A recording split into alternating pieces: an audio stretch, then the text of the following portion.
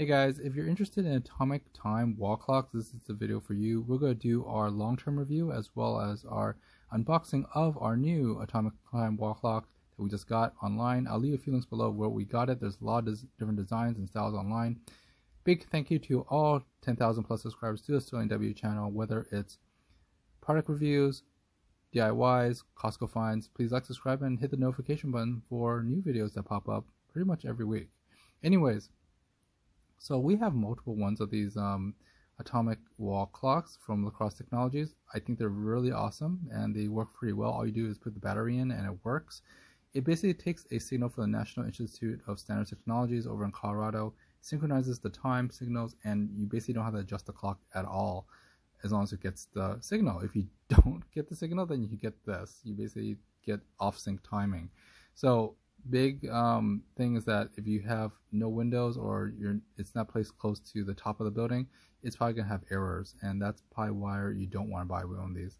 So, anyways, but if you're close to a window and have a really good signal, then very very cool. Get one of these things. They are fantastic because it runs on AA. Costs about the same cost as a regular uh, wall clock, but you never have to set it. And here's the quick unboxing then. So there's just two thumb screws in the back of it. Let's go ahead and unscrew the thumb screws. I don't know why people have so much issues on taking out, you know, new clocks, but the reason why we got this one from um, La Crosse Technology is that it has an extra battery option where you can put two extra AA batteries on the side so that it will last for about three years that we don't have to touch this thing. And normally we have to change about the batteries about every year or so. But this one just requires one AA battery. Our other ones also require one AA battery. Here's the UPC code if you're interested in the in this 12 inch atomic wall clock and search for it. The instructions are very, very simple and it comes in different designs and stuff, of course, but it really just needs, if you want to pause the video and go back and forth here, this is, you know, suit yourself, you know, and, and do it. But it's very simple. You just basically put an AA battery in the center of it and just hit the um, set button and it basically finds it for you and it just does it. Every day it actually does its um, its own reset to double check, which is fine. Uh, the button designs are pretty simple. There's only three main buttons, and there's six switches for different time zones which you have to set, as well as daylight savings time. If you have to change it manually, just hit the you know the wave button to recalibrate. We use a 1.5 volt Duracell battery for uh, the primary one, and two um, other AA batteries in the secondary compartments. So this should last easily three years. And as it calibrates, it just basically runs through its cycle and finds that you actually hit the wave button in the back and it will basically search for a signal and just do an error calibration. So it takes about 10 minutes or so to go through the rounds, and that's as fast as it goes. And I sped it up because it does take a while for it to speed around. So usually by 24 hours or so, it should be synced.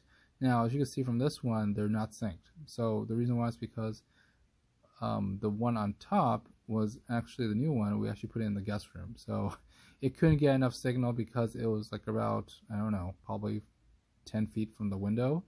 But right next to the window it works fine. So but if you're if you're away from the window it doesn't work which kind of defeats the purpose of getting this clock. Which is that's where I'm heading towards.